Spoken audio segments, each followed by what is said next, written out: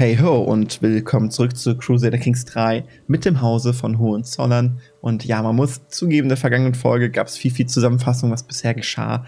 Da ist inhaltlich nicht so viel geschehen, aber nun, das lag jetzt auch an einer längeren Pause. Ähm, dementsprechend gucken wir uns jetzt hier an, wie es weitergeht. Und zwar müssen wir mal darüber reden, dass Dietmar ja auch bereits mehrere Kinder hat und unter anderem Siegfried, der erste Sohn, der Sohn und Erbe vom Herzogtum Niederlothringen, hier an der Seite hinter Pepe oder vor Pepe mehr oder minder, ja, wird er aufgezogen in den Landen von Schwaben unter Pepes Fuchtel, ja, unserem Onkel, der auch uns schon, also Dietmar, schon zum Herzog erzogen hat und ähm, den wir doch auch sehr treu und sehr blind vertrauen können, auch wenn wir sonst eine sehr paranoide und feige Figur darstellen. Ähm, und Pepe hier, da macht man sich nicht viele Gedanken, da sollte alles den rechten Wege führen und er wird auch unseren Haupterben hier gut erziehen und wird vielleicht auch darüber hinaus nicht ganz uneigennützig dafür sorgen, dass Siegfried eine, ja, die passende Frau findet. Ja, er ist schon zwölf Jahre alt, der Siegfried, ähm, und es wird langsam Zeit, dass man sich mal umschaut nach einem einer passenden Frau. Und da habe ich jemanden gefunden, der auch ähm, sehr gut in die Region hier reinpasst, denn ja, Siegfried befindet sich aktuell hier sonst irgendwo, ähm, immer mal unterwegs, mit gemeinsam mit Pepe hier durch das Kaiserreich. Ähm, es wird zu Großen erzogen, wächst vor allem aber an, in Grüningen auf, in Zollern wahrscheinlich ist er häufig und ab und an natürlich auch in Köln bei seinen Eltern, aber vor allem unterliegt er dem Einfluss von Pepe, ist mittlerweile auch herrisch, sprunghaft und paranoid. Auch ein interessanter Charakter, weil sprunghaft, paranoid und herrisch ist natürlich so eine Kombi, da muss man auch erstmal gucken, was man mit anfängt. Aber wird auf jeden Fall ein, wird ein sturer Charakter werden, der nie viel hin und her ist, aber vielleicht auch dennoch darauf basieren ist, ähm, ja, dass etwas Großes aus ihm wird. Wer weiß, müssen wir mal noch abwarten, was aus ihm wird. Darauf schauen, was sich äh, mit der Zeit so entwickelt. Es gibt da eine passende Partie für ihn. Ähm, nämlich hier habe ich mal geguckt, ich habe ganz, ganz, ganz viel die Liste bei Relevanz durchgeguckt. Das sind vor allem aber Personen, Frauen, die noch ein ganzes Stück älter sind als er und ist ein bisschen unangemessen. Es gab jetzt auch nicht wirklich die Personen, die extrem rausgestochen sind. Die gab es Bündnisse, die man intern schließen konnte. Habe ich jetzt nicht so viele gute Sachen gefunden. Ich bin aber bei Bündnismacht mal hier durchgegangen, habe ich erst gedacht, okay, guck mal hier zwölf Jahre in der eigenen Domäne, hier in Worms, sehr mächtige Verbündete innerhalb des Reiches könnte man damit schaffen. Aber nein, Pepes Einfluss kommt hier zu tragen und Pepe ist natürlich als sehr hervorragender Intrigenspinner in der Lage, auch über seine Domäne hinauszuschauen, was sinnvoll wäre. Er hatte hier geguckt mit Grafschaft von Düren, Grafschaft von Grüningen selbst, dass man ihn äh, hier mit der Cousine verheiratet, also mit, ähm, wie soll ich sagen, mit der, mit der ja, Tochter von Pepe selbst. Aber ähm, das könnte natürlich unzüchtig sein. Die sind zu nah aneinander mit der Verwandtschaft, dass es noch nicht so gut hinhaut. Und das weiß auch Pepe selbst, dass es hier zu Problemen führen könnte. Solche Heiraten sind durchaus legitim, auch gerade im Mittelalter gewesen. Aber hier könnte es natürlich auch dafür sorgen, dass man Dietmar erzürnen könnte, wenn man einen solchen Vorschlag macht, dass vielleicht Pepe seine Macht ergreifen möchte oder so. Und dafür ist er viel zu zufrieden und ähm, ja, bedächtig, treuherzig und demütig, um solche Gedanken weiter auszuspinnen. Deswegen wird man hier den Charakter entfernen. Es gibt aber eine weitere Partie, die auch hier in der Nähe liegt, die uns eine mächtige Bündnismacht gibt und äh, ja, direkt hier in der, wie soll ich sagen, äh, ja, Domäne mitunter von Schwaben liegt, wo ein Pepe halt einen gewissen Einfluss vielleicht mit drauf hat. Denn die Bayern haben damals geholfen, äh, Schwaben zu erobern vom damaligen Herzog und ja, man würde hier ein gutes Bündnis schaffen mit einem Grafen, der nach aktuellem Standpunkt äh, sehr, sehr alt schon ist, sehr, sehr gebrechlich auch schon ist, verstümmelt. Ist er zumindest gebrechlich nicht, aber auch kurz vor seinem Ableben ist. Und dennoch ähm, gibt es halt diese junge Dame Judith von Formbach, die halt einfach bekannt ist in der Welt, die bekannt wird. Sie ist religiöse Eiferer mit 14 Jahren. Sie gilt als keusch, äh, demütig und rauflustig. Äh, Gott äh, erklärt quasi. Ähm, und trotzdem, trotz dessen, was heißt trotz dessen? Gleichzeitig strotzt sie nur so vor Leben, ähm, ich möchte jetzt gar nicht so sehr auf diese Eigenschaft hinaus, dass man das dann vererben kann. Ist natürlich ein netter Bonus, aber ähm, ich fand, die Eigenschaften haben einfach so gut gepasst und sie gibt uns hier ein Bündnis mit jemandem aus der Region. Das halte ich doch für sehr angemessen. Dementsprechend werden wir hier die Heirat durchführen. Und Siegfried wird dort eine sehr mächtige Partie an die Seite bekommen. Und er nimmt das auch direkt an. So, hier wird eine weitere Aufgabe erledigt. Und zwar in Mark wird die Kontrolle mal wieder erhöht. Das ist schön. Und wir sehen mal wieder, äh, ist es soweit, dass ein Kreuzzug ausgerufen wird.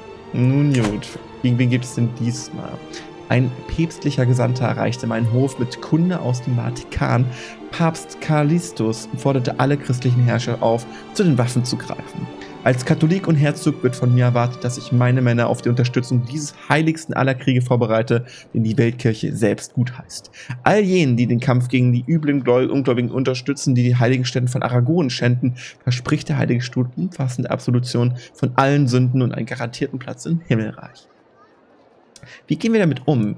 Wir sind natürlich gar nicht irgendwie groß religiös aufgestellt. Ganz im Gegenteil, wir sind erst zweimal konvertiert, wieder zum Christentum auch zurückkonvertiert.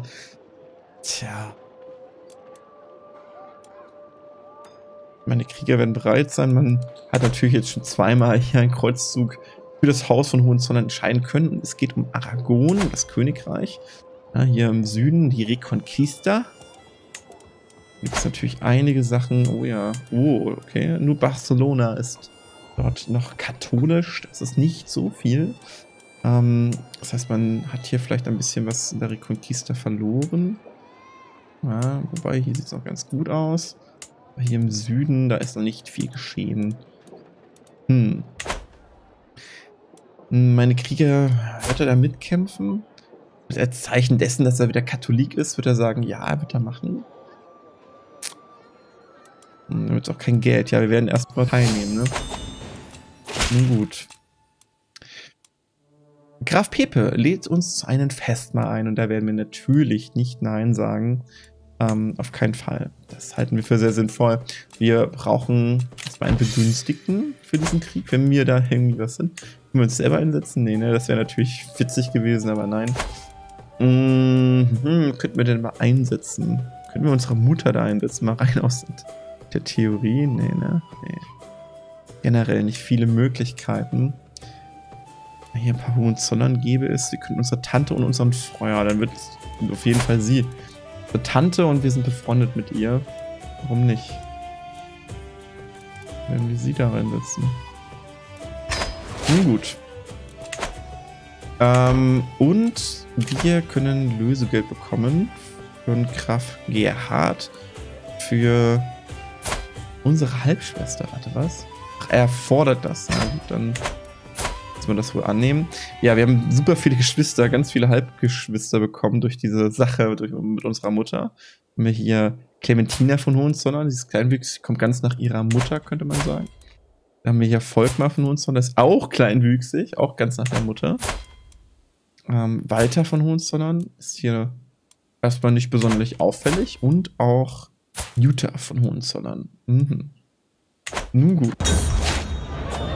Eine herzliche Begrüßung. Alle Gäste versammeln sich in der großen Halle und Kraft Pepe begrüßt uns alle zu dem Fest, zu dem wir so großzügig eingeladen wurden. Na, hoffentlich lohnt sich das. Na, hoffentlich. Wir könnten hier einen Schritt weiter gehen. Hm. Geheimnis aufspüren. Da fällt mir was ein. Wir könnten mal gucken. Hm. Wenn ihr jemanden foltert. Ne, foltern tun wir eigentlich nicht. Und das hier mal machen. Kriegsführung gedeiht im Chaos. Ja, das, das durchlebt er gerade durchaus. Erhöht seine, seine Werte auch nochmal. Äh, mit 22 Intrigen und ich denke auch, was mal an der Zeit wäre, es fällt mir gerade ein, wir könnten hier Artefaktdiebstahl machen. Uns wurde ein Artefakt abgenommen und zwar, wie man Gold verdient. Das wollen wir wieder haben. Wenn wir klauen, sollte das möglich sein getrübtes Urteilsvermögen. Als ich sehe, wie sich die Augen von Adela bei meinen Worten weiten, wird mir klar, was ich gerade über Kraft Bernhard gesagt habe. Ich schiebe mühsam meinen Krug von mir. Ich hätte zu viel zu trinken. Mühsam versuche ich mich aufzurichten. Glaubt mir kein Wort. Ich habe etwas ausgeplaudert. Meiner Tante gegenüber habe ich gesagt, dass ich jemanden ermordet habe, nämlich Graf Bernhard. Oder versucht habe zu ermorden. Meinen schönen Gewänder, genau diese meldet sich gleich noch einmal. Jedem war klar, dass Adela zu viel getrunken hatte, doch sie wollte uns unbedingt vom Gegenteil überzeugen. Schon das Aufstehen war jetzt zu viel für sie und jetzt bin ich von Kopf bis Fuß mit stinkenden Erbrochenen bedeckt. So, das war eine reife Darbietung oder wir sagen, ihr sollt euch schämen, Adele.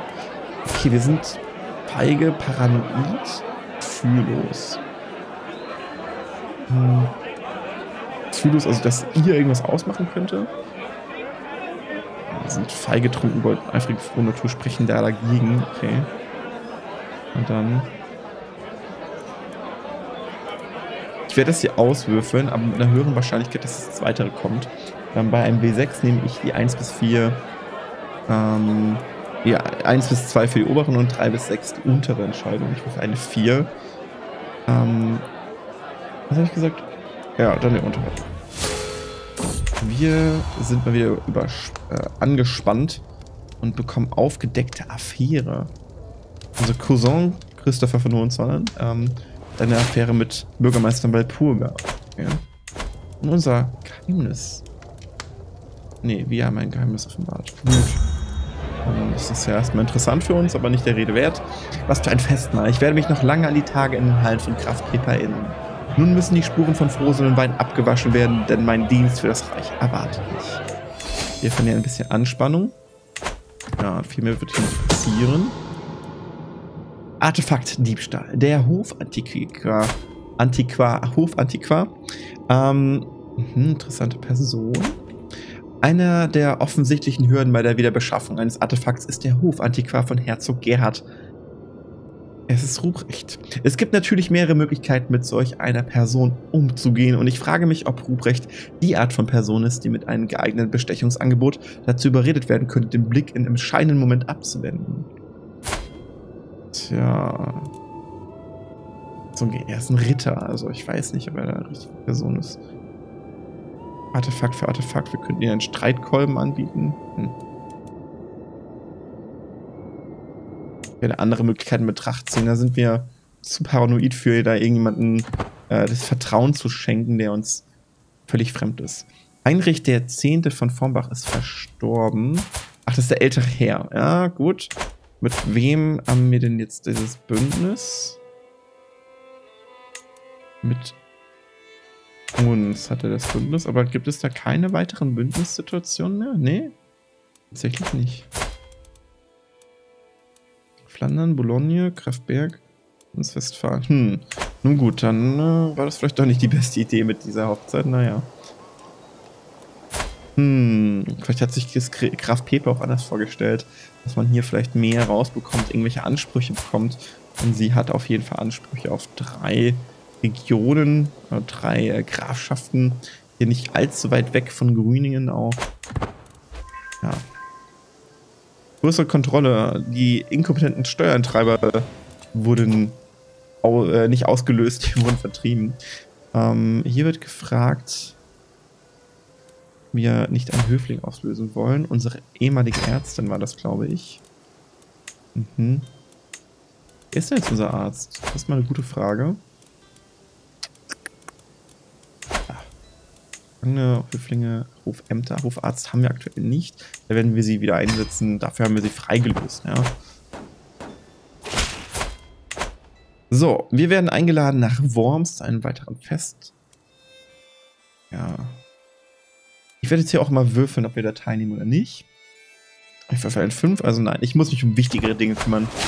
Das werden wir nicht machen. Der Lehnsherr erwartet, dass wir konvertieren. Oha! Was haben wir denn hier? In Mandaismus. Er gilt als feindselig. Der Mandaismus führt seine Abstimmung auf Adam zurück, wobei Johannes der Täufer als der groß, größte Prophet dieser Glaubensrichtung gilt. Die Welt besteht aus Licht und Dunkelheit und mit der Zeit wird über alle sterblichen Seelen dahingehend ein Urteil gefällt, ob sie würdig sind, zum ewigen Licht zurückzukehren. Nee, nehmen wir nicht an. Wir hatten das schon einmal durch mit Bekehrung, das hat gereicht. So, ein Flugmittel ist verfallen. Gut. Werden wieder eingeladen. Hier von einem Vasallen, dem wir nicht ganz so gut zu sprechen sind. Nun, eigentlich relativ neutral. Hier werde ich wieder würfeln. Ich würfel wieder eine 4 und damit auch hier müssen wir uns um wichtigere Dinge kümmern. So, ein Höfling unter Freunden. Uns wird da jemand empfohlen. Durch Piepe, okay. Mein Onkel Graf Pepe hat mich mit einem Besuch beehrt und mir einen seiner Höflinge mitgebracht. Pepe tritt aufgeregt an mich heran. Wohlan, Herzog Dietmar. Es freut mich zu sehen, dass es euch hier in Köln gut geht. Mir ist aufgefallen, dass Eckehard an eurem Hof nützlich sein könnte. Er ist ein ungeheurer, talentierter Stratege. Sein Verstand spuckt immer alle möglichen Taktiken aus. Ich würde ihn ja gern selbst beschäftigen, doch leider scheint dies unmöglich. Es wäre mir so unrecht, wenn sein großes Talent verschwendet würde. Warum nehmt ihr ihn nicht auf und entfesselt sein wahres Potenzial? Ja, Graf Pepe, den vertrauen wir da durchaus. Dann werden wir ihn an den Hof holen. Ähm, er geht als Meisterjäger, Organisator stark, ein grandioser Kämpfer, der hier Rosenburg angehört. Dadurch bekommen wir sehr viel Anspannung. Uha. Boah.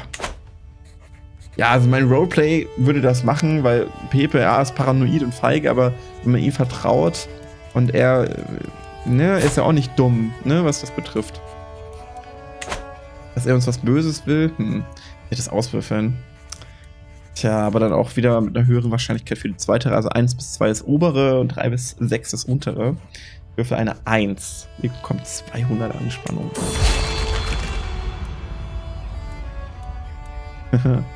So. Falsche Zeit, falscher Ort. Mein Kopf fühlt sich an, als wäre ein Sturm in einer Eierschale gefangen. Ich winde mich auf meinen Thron und verzweifelten Versuch, halbwegs bequem zu sitzen, als ein Bote mir eine unwichtige Mitleidsgeschichte von Piraten oder Banditen oder Plünderern oder sonstigen Unfug auftischt, der die Gemein so plagt. Der Druck in meinen Schädel steigt und ich und irgendwie muss ich ihn abbauen. Da eröffne ich fast unabsichtlich den Mund. Meint ihr, ich falle auf diesen offensichtlichen Lügen herein? Ihr seid eindeutig ein bezahlter Meuchelmörder. Köpft diesen Narren. Okay. Und danach, also hier wird jemand geköpft. Ah, wird auch der alten Religion, also die wir auch mal kurz angehört haben. Hermann. Mhm. Dann verschwindet allersamt aus meinen Augen und bringt mir etwas zu trinken, bringt mir viel oder bekommen eingelegter Menschenkopf. Öh, und bringt mir den Kopf als Fußschemel. Oha! ja, er könnte jetzt auch noch ein bisschen äh, grausam werden. Ja, ich werde das würfeln. Ich würfel eine 4 und bringt mir etwas zu trinken, bringt mir viel. Wir bekommen Saufdurst. Okay, Moderator Gesundheitsmaß. In Ordnung. Ein Hausmitglied wird angegriffen. Mal wieder Jerusalem. Seid gegrüßt, mein Lehnsherr. Ich habe herausgefunden, dass Baron Taginos ererbte Vasallenbande ihm auferlegen, mehr an euch zu zahlen, als er bisher eingefordert hat. Hm. Oh, okay. Mhm. Warum nicht? Machen wir. Patricia wird erwachsen. Und es können Leute heiraten. Mal kurz überlegen. Da kann ich mich nicht erinnern. Habe ich denn. Nee, habe ich noch kein Gold gezahlt. Das muss jetzt geschehen. Und er ist ein Graf. Er bekommt also 50 Gold mit Gift. Äh, sie ist erwachsen. Mm, ja, und hat die Kriegskunst versucht zu erlernen. Ähm, das war, ein, das war einfältig von mir. Sie hat nur ein grundlegendes Verständnis des Themas entwickelt. Wenigstens hat sie die wichtigste der Armeeverwaltung erlernt. Ich kann nur hoffen, dass der Rest mit der Erfahrung kommt. Wie schnell sie doch flügge werden. So, die haben geheiratet und er bekommt jetzt hier als Graf, als echt mächtiger Graf, wie ich finde, besitzt hier zwei Grafschaften und zwei Baronien in diesen noch oben drauf bekommt hier, geht als Bart, okay, bekommt hier eine Mitgift von 50 Gold. Aber wir sind auch wieder einigermaßen im Positiven, was das Geld betrifft. Das ist doch in Ordnung. Ähm, damit kann man was anfangen. So, Artefakte. Diebstahl ist fehlgeschlagen. Das Einschleusen verlief wie geplant, doch es konnte kein Artefakt gefunden werden. Es muss entweder unverschämtes Pech gewesen sein oder ich habe nur inkompetente Lakaien in meinen Diensten, um einen solchen Misserfolg verursacht zu haben. Ich kann das einfach nicht glauben. Das ist inakzeptabel. Ja, kommt auf der Hut. Schade. Nicht bekommen. Und die äh, Grafschaft Zollern hat wieder volle Kontrolle. Dann fehlt noch Württemberg. Können wir mal machen. Mhm, gut. So, können wir uns mal zurückziehen. Verlieren ein bisschen Anspannung dadurch. Ja. Ich habe den Dienern befohlen, niemanden zu mir zu lassen, unter keinen Umständen. Und als sich meine Schultern entspannen, wird mir klar, dass es genau das ist, was ich brauche. Verschwindet alle. Ja. Ist auf, den, auf jeden Fall in den Fußstapfen von Christopher gefangen. Muss man mal dazu sagen. So, die nächstes Kind wäre Katharina. Ist auch schon zwölf Jahre alt. Nur hier schauen, ob man ein passendes Bündnis mit unserem Bruder. Na, ist natürlich Quatsch. Hm, durch durchscrollen. Bre. Schwabe. Den könnte man doch nehmen. Graf Amadeus von Brie. Hm? Wird ja auch noch die Sundgau erben, früher oder später. Warum nicht? Dann haben wir doch da. Könnten inzüchtig sein, aber sind weit genug entfernt verwandt, würde ich sagen. Ja. Dann machen wir das. Ein angepitter Charakter wird angegriffen. Oha! Das Pontifikat selbst greift im Kreuzzug ähm, Kreuzzug um Königreich Aragon an. Ja gut, das ist jetzt ja kein Wunder. Wollen wir gleich mal langsamer machen. Und er nimmt das an. Gut, damit beginnt dieser Kreuzzug um diese Ländereien und ähm, könnt ihr mal auf die Kräfteverhältnisse gucken. 90.000 gegen 30.000. Nun gut, dann werden wir mal wieder unsere Truppen ins Heilige Land führen.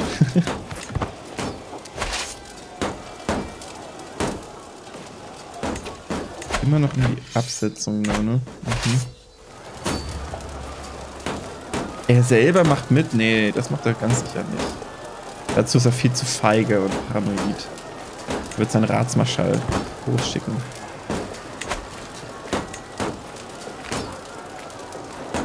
Aber was ich mir auch gerade denke, er wird auch nicht seine ganze Armee hinschicken. Er würde maximal die Hälfte schicken, denn ansonsten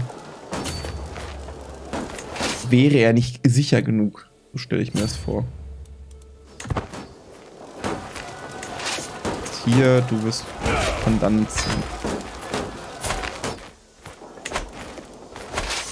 Seine Hälfte seiner Armee los mit seinem Ratsmarschall der hier Liebesbläschen hat, aber ansonsten ein sehr, sehr guter, mächtiger Mann ist, was das betrifft. Dieser führt die Truppen von Hohenzollern, Niederlothringen vor allem, nach Süden. Oder von Schwaben, je nachdem, ne? Wo ist denn da mitgegangen? Nee, er ist eigentlich auch ein guter Kämpfer. Hätte ja sein können, dass er mit in den Armeen dabei ist. Aber nein, ist er nicht. Erstmal passierte gar nichts, ne? Interessant.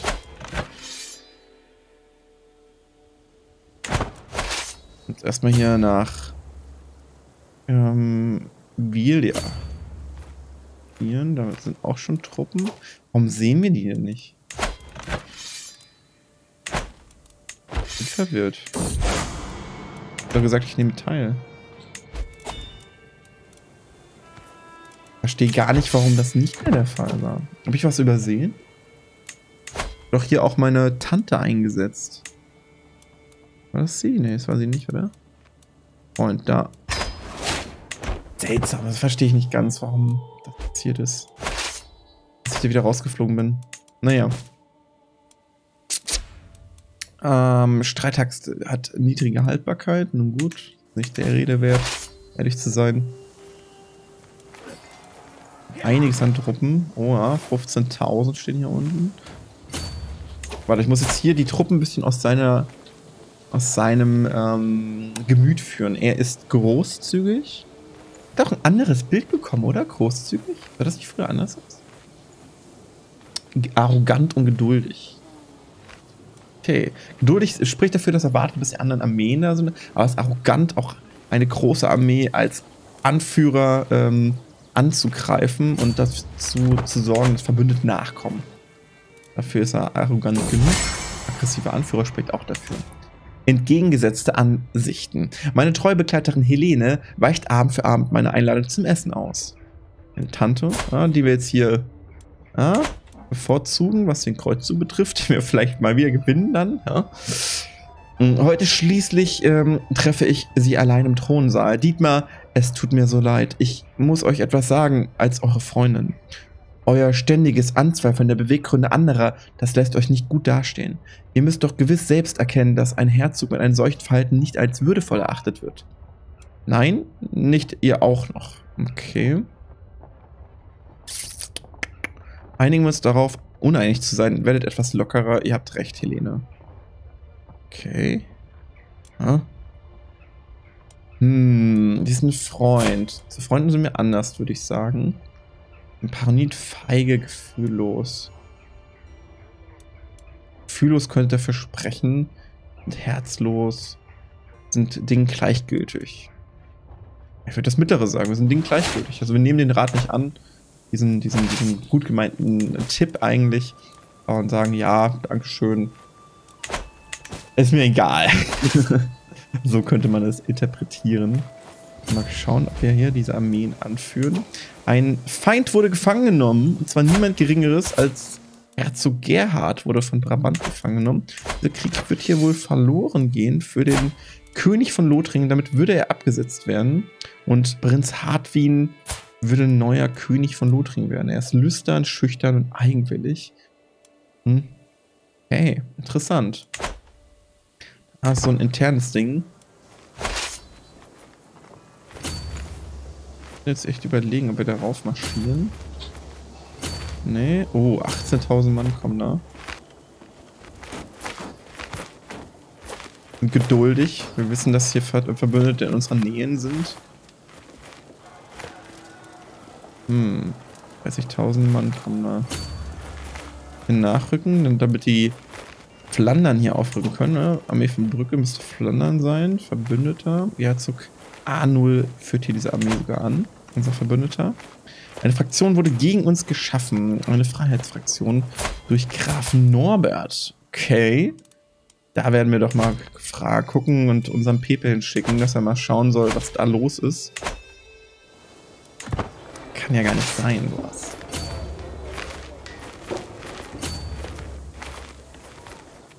Hm. Da wird eine große Schlacht ausgetragen. Massive Angreifer und arrogant genug, hier noch einen entscheidenden Unterschied zu machen in der, in der Schlacht, die eigentlich schon verloren ist. Da geht er noch mit rein.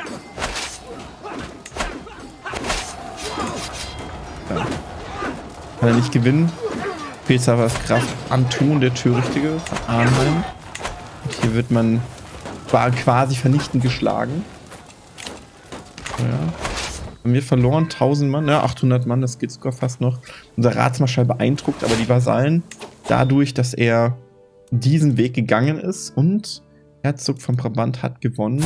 Viktor ist nun nur noch ein ja, Schatten seiner selbst. Den gerne in den Hof eingeladen. Das wäre so gut, was für ein Arzt er einfach wäre. Wahnsinn. Damit haben wir nun König Hartwin von Lothringen. Wir haben eine nicht so gute Meinung über ihn. Da haben wir einen ja, Platz im Rat möchten, von ihnen verlangen. Wir können ihn huldigen. Sind feige, paranoid, vielleicht erstmal zurückhaltend.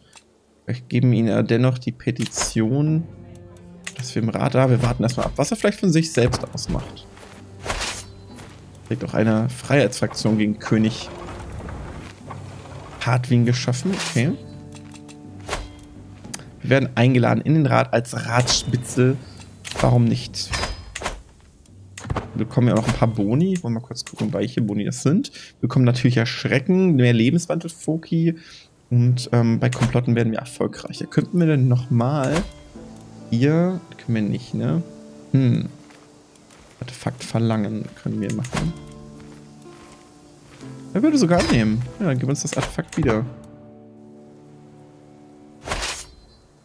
So, da kommt es zu Schlachten, die man diesmal gewinnt, aber wir sind nicht dabei. Und er hat es uns gegeben, ne? Ja, schön.